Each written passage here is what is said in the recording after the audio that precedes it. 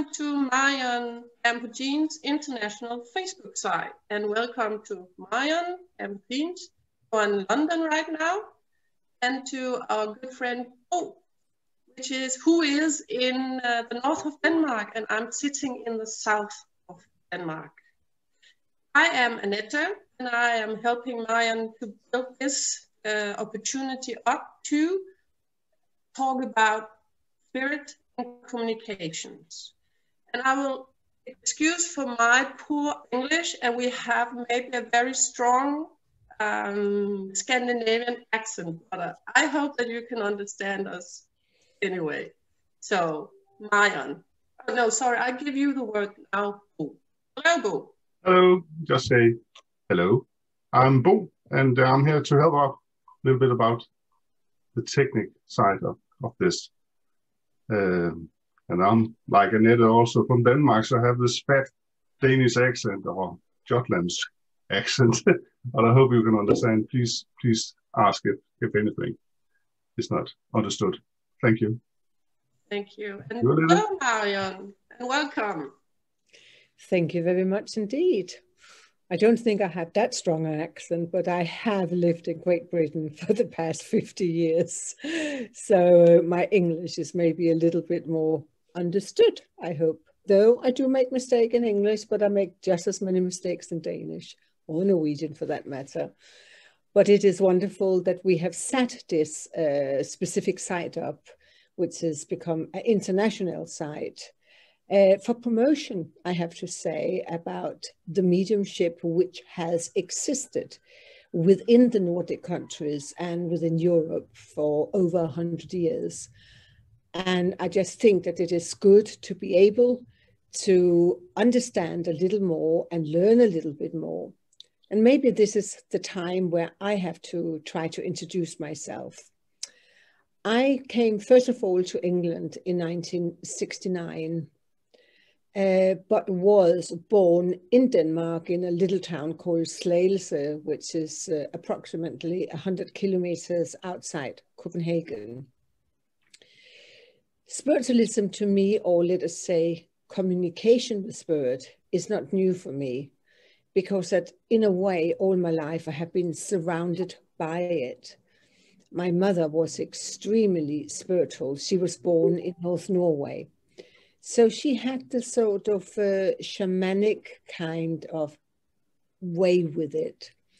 Uh, my father was into spiritualism in Denmark from roughly around 1943, 45, thereabouts, where spiritualism within Denmark was a very high point for many people who went to see mediums in different kind of halls, we had quite a numbers of what we today call spiritualist churches in Denmark.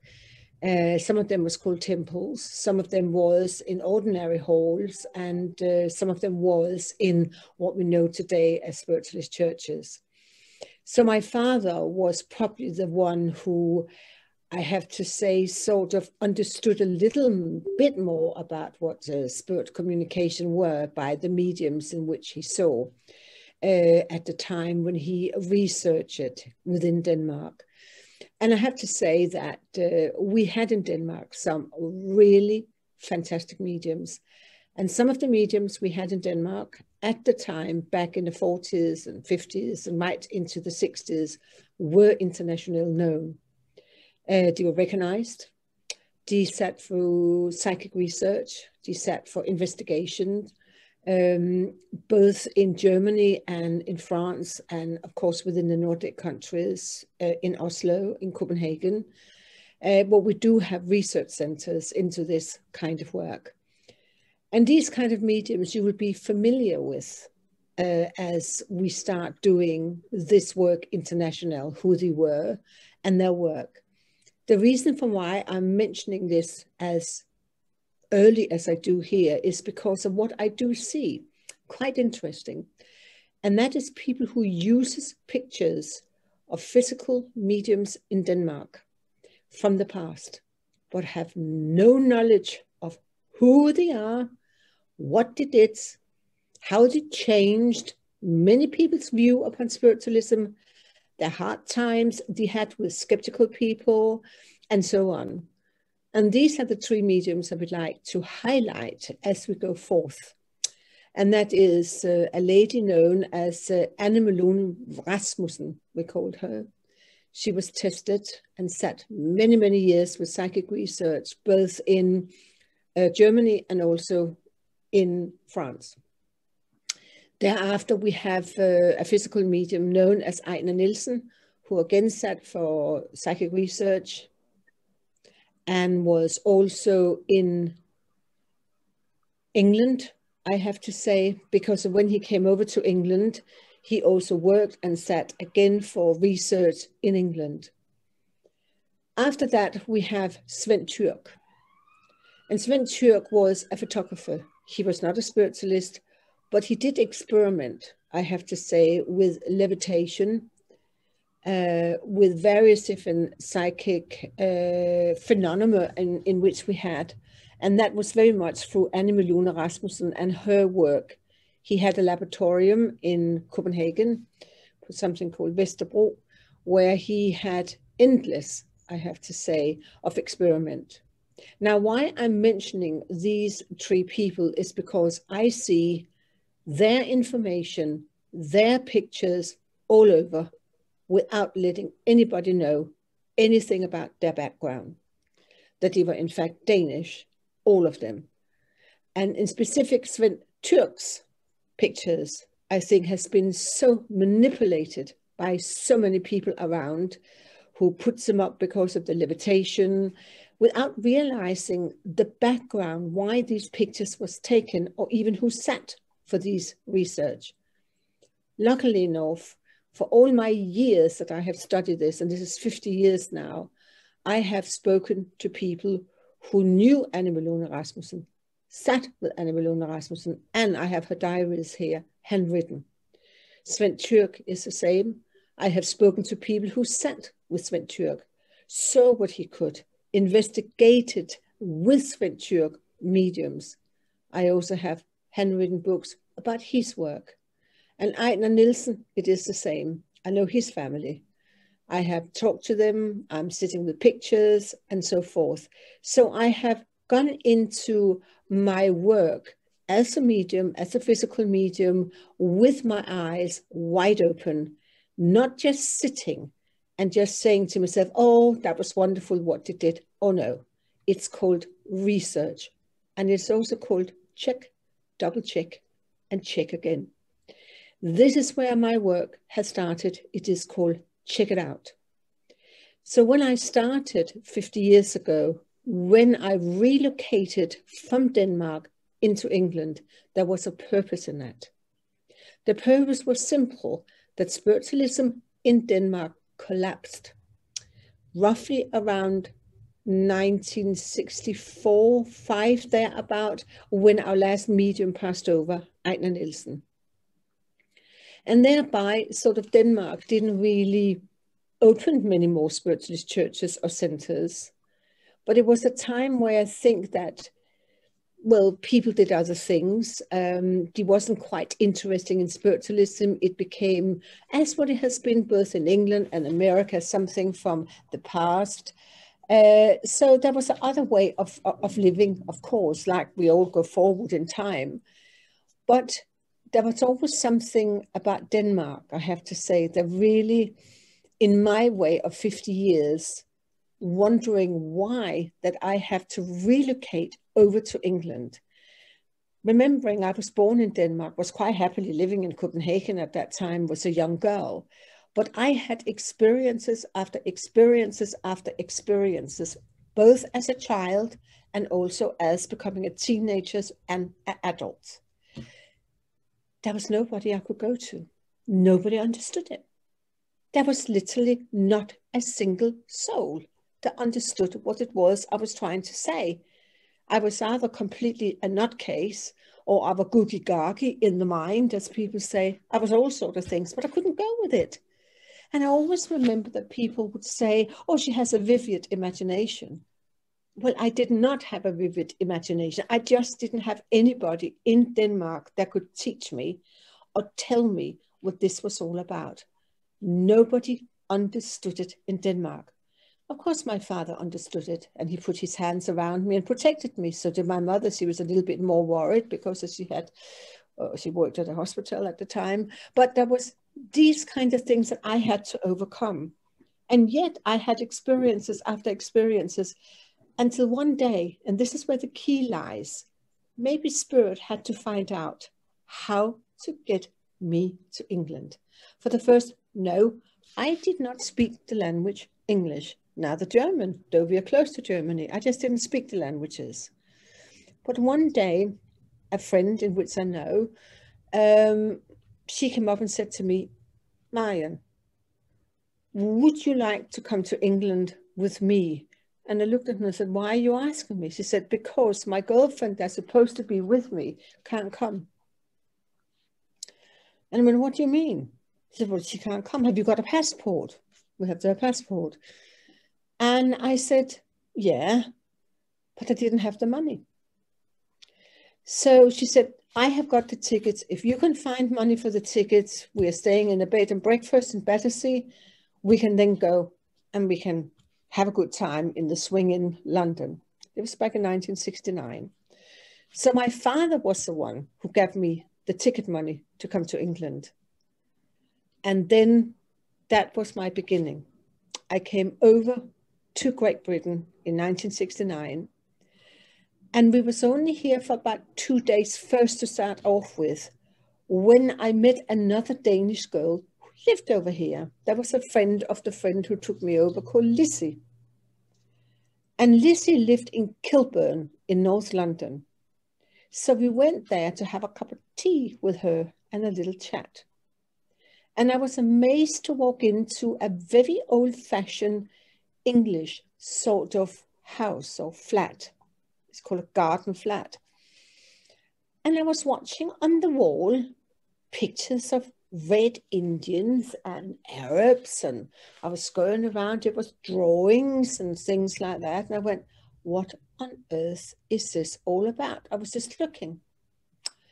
And um, Lisa said, you seems to be completely fascinating by those pictures on the wall. And I said, yeah, uh, strange to come into a room like this. And she laughed. And she said, oh, my boyfriend's mother, yeah, is a medium. And I went, what's a medium? Didn't quite understand and didn't quite take it in at the time that she was a medium working in spiritualist churches in England. At that time, I had no idea what the heck a spiritualist church were. No idea.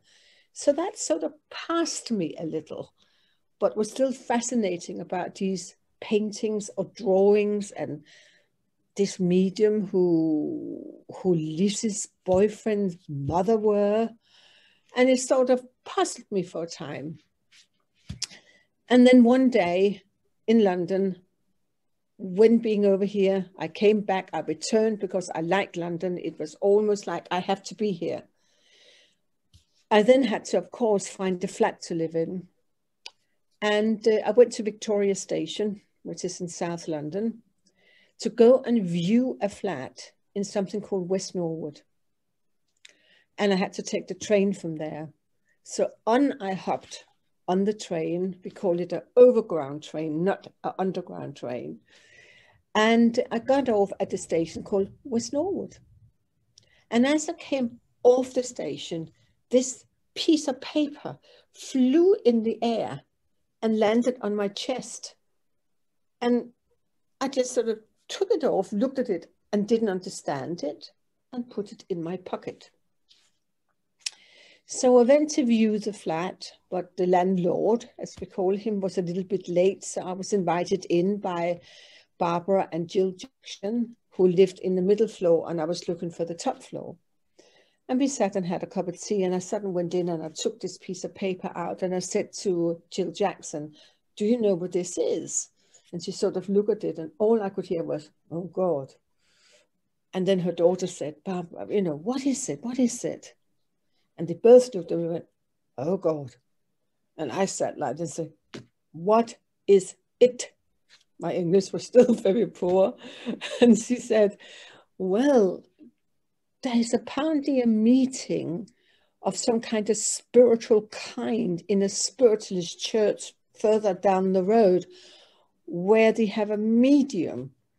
And again, this blasted word medium came back in again. This church, this thing about spirit, this thing about weird thing. And I thought, huh? And it ended up with that I got the flat upstairs. And then me and Jill, which is the daughter, we went down to West Norwood Spiritualist Church. We found it because it was on this piece of paper. And we was walking outside the street, and I have to say, damn it, if I've got to go in there. There's weird people in there. And I didn't really know if I wanted to go in, and, and, and, and me and Jill was just going, oh, shall we run away again? And suddenly this elderly gentleman stood in the door and went, young ladies, are you coming in or not? And just that was enough to get us to jump and run in. So there was two seats left in the front row. So I thought, oh, we better go up and sit up there. So we ran in and sat down. And there was um, an organ playing, and we were singing this song. And I thought, this is blasted a religious sort of uh, Salvation Army kind of meeting. Hallelujah, Jesus Christ, or whatever. And I thought, oh, God, you know.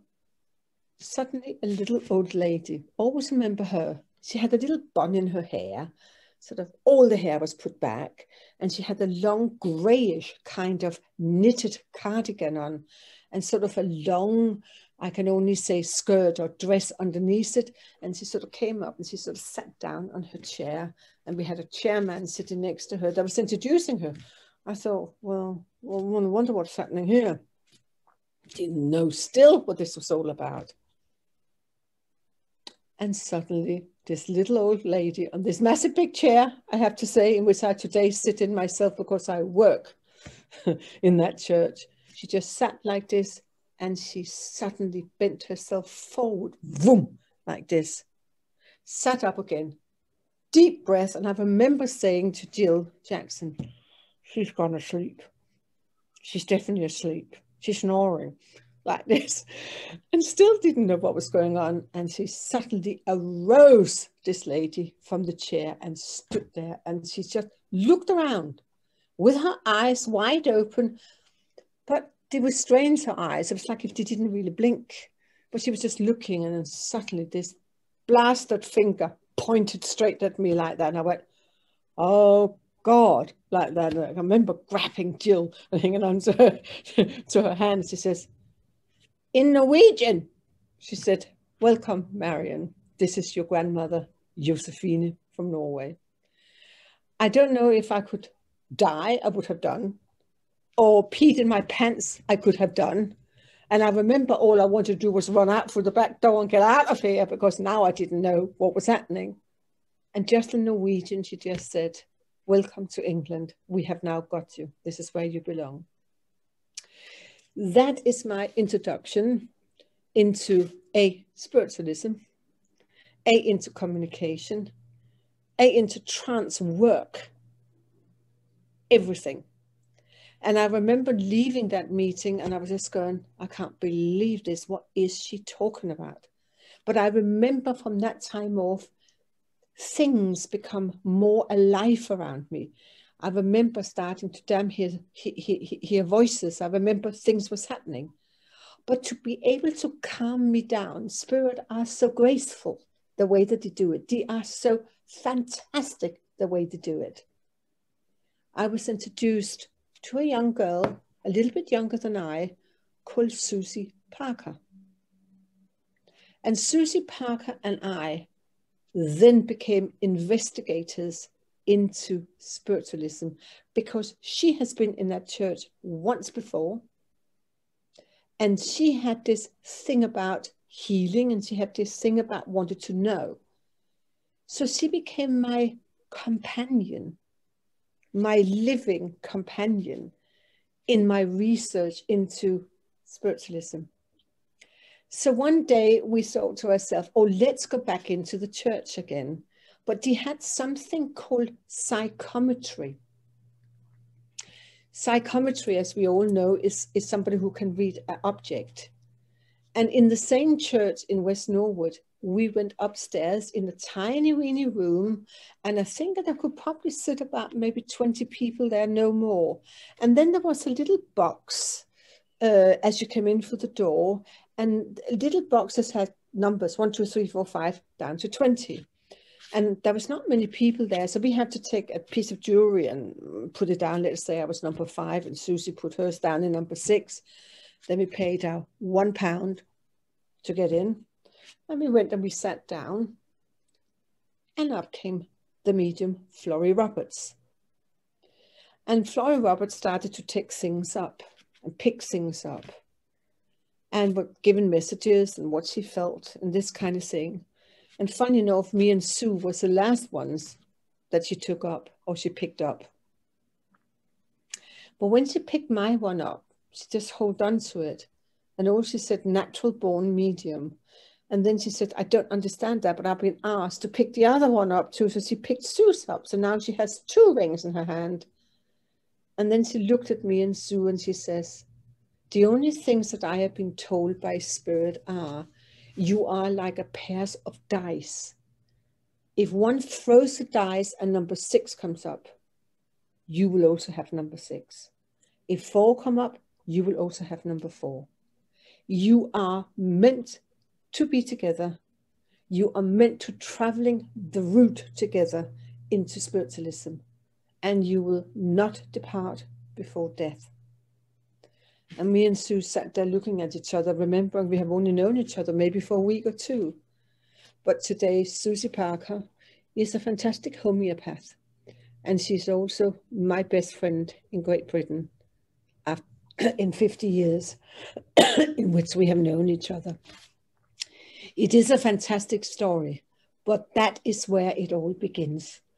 the spirit interference with getting somebody to get me to England. When I am in England, finding me a place to live. Sue lived a half a street further away from me. Going into West Norwood Spiritualist Church, being directed by Spirit and a piece of paper. Then started to work only about two or three, was it a month after I came out? I tried to sit in a circle in Stockwell at this time. The teacher put his hands up in the air. His name was Ernest. Said, I can't teach you. You might as well go and work. he couldn't teach me. So we have this with about being a natural medium. Many people say that you're born with a gift or the ability, I better call it, not a gift because it isn't a gift, this is an ability And there comes at times where people says to me, oh, what can I do? And I see this and this and said, well, haven't the world of spirit taught you, told you, pushed you into it, showed you the way, as which you have done with me all my life? But apparently not.